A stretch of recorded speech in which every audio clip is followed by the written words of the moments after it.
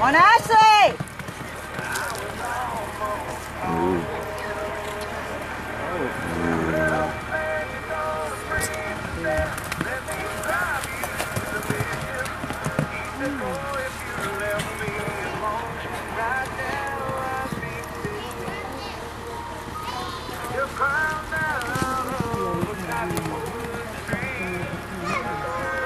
Okay, sorry Ashley, that's a DQ because you crossed the timer after you went around.